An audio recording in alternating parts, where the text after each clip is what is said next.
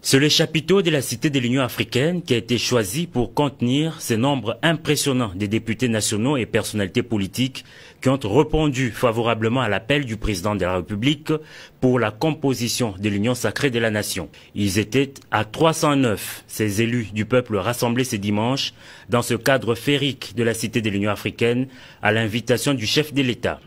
Lors de son entrée, le garant de la nation a eu droit à une standing ovation.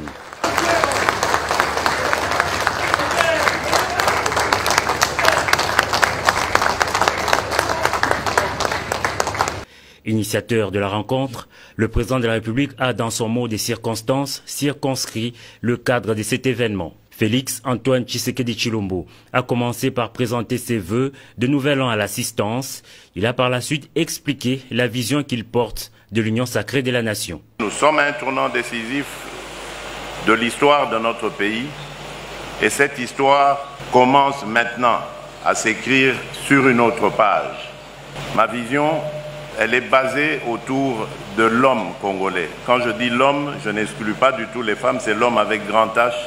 On a beau crier aux envahisseurs, aux colonisateurs, aux impérialistes, à tout ce qu'on veut, mais nous devons reconnaître que ceux qui leur ouvrent la porte à cette prédation, à notre affaiblissement, c'est nous-mêmes.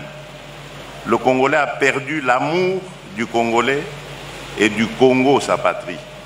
Aujourd'hui, il y a quelqu'un à la tête de votre pays qui est prêt à vous écouter, qui croit en vous, qui croit en vos aptitudes. Quant aux députés nationaux FCC qui ont accepté d'adhérer à la nouvelle gouvernance du pays, le garant de la nation les a rassurés.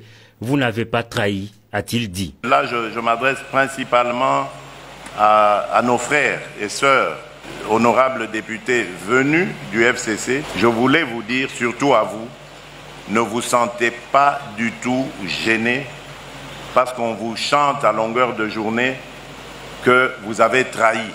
Ce n'est pas vrai.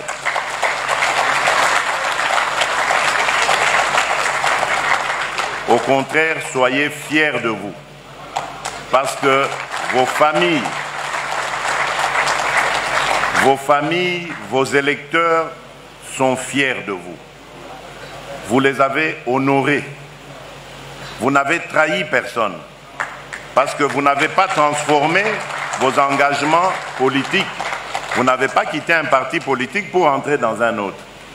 Vous avez compris tout simplement où était le bon sens et l'intérêt de notre nation. Et vous y avez répondu.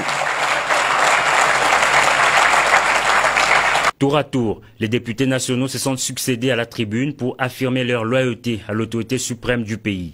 C'est le président du bureau d'âge de l'Assemblée nationale qui a ouvert le bal. Ensuite, ont défilé les représentants des partis et regroupements politiques, toutes tendances confondues. Au finish, le président de la République a remercié tous les intervenants. Je suis convaincu qu'ensemble nous allons réussir, a-t-il dit.